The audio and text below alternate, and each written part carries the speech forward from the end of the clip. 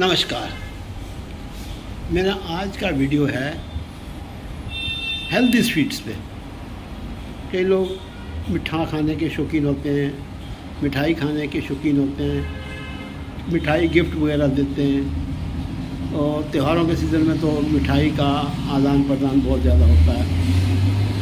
तो अक्सर आता है कि खोए में बहुत मिलावट होती है, क्योंकि दूध की तो लिमिटेशन है ना। दूध तो एकदम अपनी मर्ज़ी से ज़्यादा नहीं प्रोड्यूस कर सकते, वो तो जो रिसोर्सेज हैं, उसी के हिसाब से प्रोड्यूस होगा।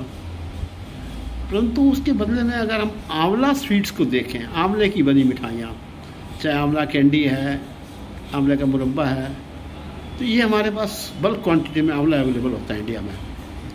और आंवला किसी भी रूप में खाया जाए, वो विटामिनों से भरपूर होता है। तो मेरी जो सुझाव है आंवले का जो मुरबा है, आंवले की कैंडी है और आंवले से बनी दूसरी मिठाइयाँ हैं, अगर वो दिवाली या दूसरे त्योहारों पर गिफ्ट की जाएँ और इसका सेवन भी किया जा सकता है, आप लोग बजाय कोई दूसरी स्वीट खाने के, आंवले की मिठाई खाएँ तो आपको न्यूट्रिशियस वैल्यू भी मिलेगी। और इस तरीके से अगर आप गिफ्ट करते हैं आंवले की मिठाई तो क्योंकि इसकी एक लॉन्ग लाइफ है, काफ़ी टाइम तक ख़राब नहीं होती। इसकी कॉस्ट भी कम है और ये हेल्थ के लिए भी अच्छी है। तो इन सबको देखते हुए आमले की बनी हुई मिठाइयाँ काफ़ी हेल्पफुल हो सकती हैं, सेहत के लिए भी अच्छी हैं और क्योंकि सस्ता है कॉस्ट भी कम आएगी। और इसमें एक काफ़ी जो है बिज़नेस अपॉर्चुनिटीज़ मिलेगी, युवकों को, दूसरे लोगों को।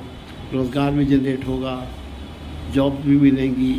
एक आइटम में भी काफ़ी लोगों को रोज़गार मिल जाएगा और फिर हम इसका एक्सपोर्ट भी कर सकते हैं फॉरेन एक्सचेंज भी मिलेगा।